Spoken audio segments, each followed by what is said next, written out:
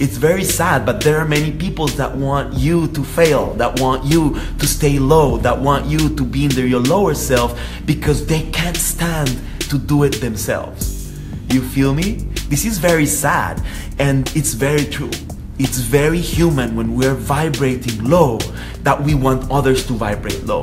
If you are not really connected to your highest vibration and committed, you are gonna be affected by people that are in the lowest vibration. It is supernatural. It happens like that. So it's very important to be checking around your environment. Who are you surrounding yourself with? Who is your community?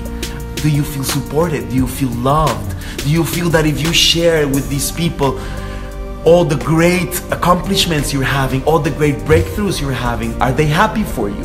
Do you feel they are supporting you? Or do you feel they don't like that? They are not really there for